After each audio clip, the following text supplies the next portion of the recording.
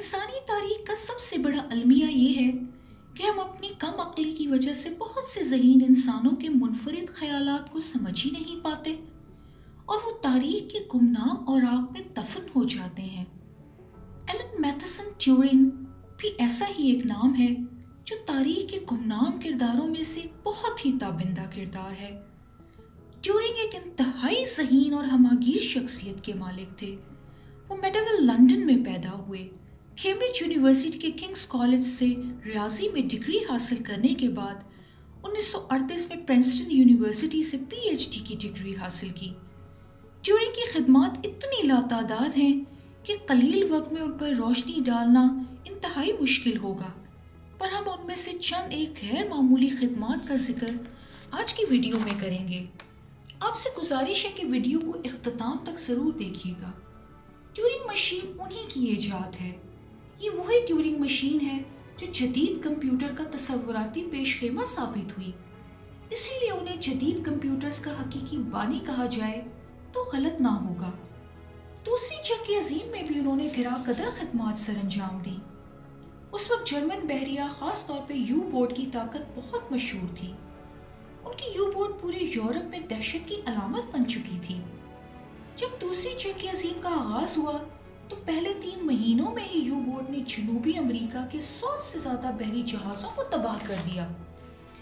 इस दौरान बरतानवी फौज के इदारे Government Code and Cipher School ने ट्यूरिंग को जर्मन बहरिया के यू बोट की खुफिया पैगाम रसानी और पैगाम को डी कोड करने का काम दिया। उन्होंने यू बोट के खुफिया पैगाम को इंतहाई महारत के साथ डी कोड कर दिया। इस कारनामे को यकीनन तारीख में सुनहरे हरूफ से लिखा जाना चाहिए। जंग के बाद 1948 में ट्यूरिंग ने Max Newman's computing machine laboratory में काम करना शुरू कर दिया, जहाँ उन्होंने ऑटोमेटिक कंप्यूटिंग इंजन का पहला डिज़ाइन भी पेश किया। इसके साथ साथ उन्होंने आर्टिफिशियल इंटेलिजेंस का नज़रिया भी पेश किया। नाजिन ट्यूरिंग ने अपनी पूरी ज़िंदगी एक ऐसे जहीन इंसान के तौर पर गुजारी जिसके ख्यालात को सिर्फ़ इसलिए नज़रअंदाज किया गया कि उन्हें समझने की सलाहियत बहुत ही कम इंसानों में मौजूद थी।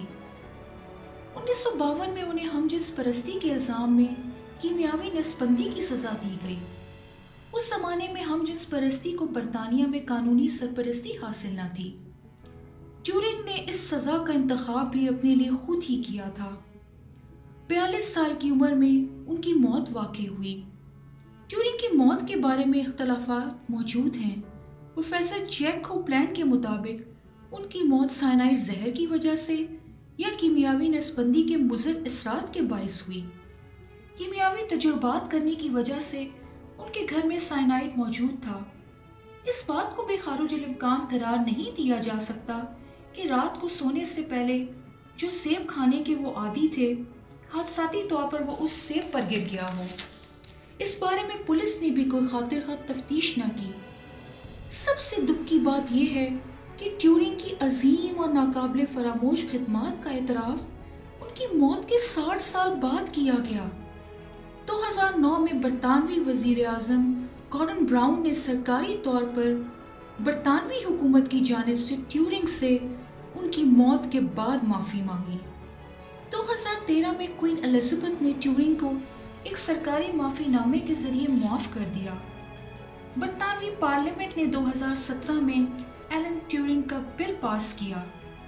इनकी सालगिरह के दिन को यादगार बनाने के लिए बैंक ऑफ़ इंग्लैंड ने 50 पाउंड के नोट पर इनकी तस्वीर शाये की और एजाजी तौर पर इनके मुजस्मे भी बनाए गए।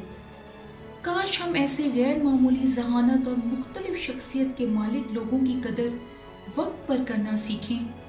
जिनकी खिदमात ने उनके जाने के बाद पूरी इंसानियत फ़ायदा उठा रही है। आज की वीडियो के बारे में अपनी राय हमें ज़रूर दीजिएगा।